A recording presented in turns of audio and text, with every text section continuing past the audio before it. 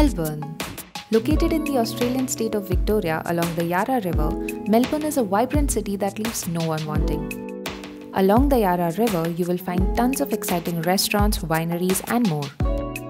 Also, visit the open air Queen Victoria Market with its delightful stalls selling all kinds of food and clothes.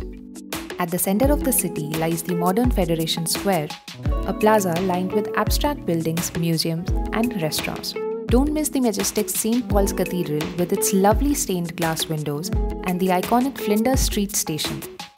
Also, check out the National Gallery of Victoria, which has a mix of art and exhibits, the Melbourne Museum, and the Royal Exhibition Building to explore the city's history and culture.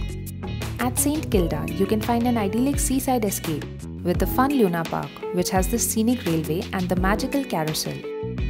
Nearby lies the Sea Life Melbourne Aquarium, where you can meet a huge number of marine animals. In Melbourne's Chinatown, you can see lots of wonderful eateries and markets, as well as the Immigration Museum and the Chinese Museum, which give perspectives on local life. You can also see the old Melbourne Gaol and the old Abbotsford Convent.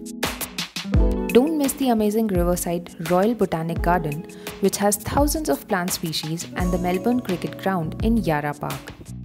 From high end fashion stores to chic bistros and bars, lush gardens, crowded stadiums, and delicious food, Melbourne really does seem to have it all.